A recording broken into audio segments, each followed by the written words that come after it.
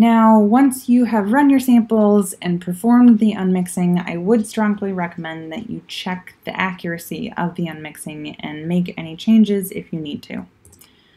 Checking the unmixing accuracy is fairly straightforward. It's very similar to checking the accuracy of your compensation. So you would just look at all of the single stains, all of your reference controls, um, you will look at all fluorochromes against each other and check that the middle of the negative population matches up with the middle of the positive population so you can draw a straight line through both of them. And if you do find any issues in unmixing, you could potentially apply some compensation to that if it's just a minor fix.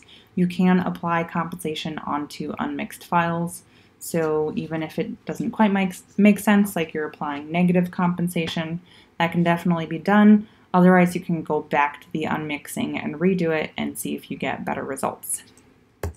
Now, if you have unmixing errors, then the way to spot them is to look at the negative population. So you can look at a fully stained sample, put a bunch of fluorophores against each other, and see what it looks like. So here's an example of two plots that look like they were unmixed well. So our negative population is nice and round. There's no really weird negative populations. Everything looks pretty great.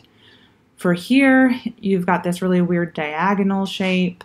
This one isn't quite as clear. Here's some other patterns. You're just getting lots of negatives, these kind of pointy shapes, diagonal shapes. Those can be indicators of unmixing errors. So oftentimes, here's another example where you sort of have this double negative population here. If you play around with how you, what axis you put, um, or what floor, fluorophore you put on the other axis, you could find that you may have some unmixing errors. So if we apply some compensation, move this population over, most likely this weird negative population will disappear. So finally, I don't expect you to necessarily know all of this right when you first start using the Aurora, but if you are confused about your data looking a bit odd, then definitely come meet with me.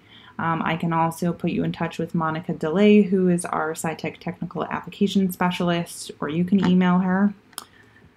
Um, and that is the end of this training. So the next step would be to do the one hour hands-on training. You don't need to bring anything for that. We just prepare compensation beads. It strictly focuses on how to use the instrument itself.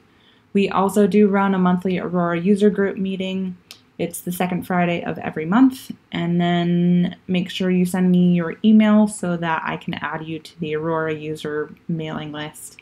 I do send out a lot of updates to that list, so it's definitely useful for you to subscribe if you're at the University of Chicago.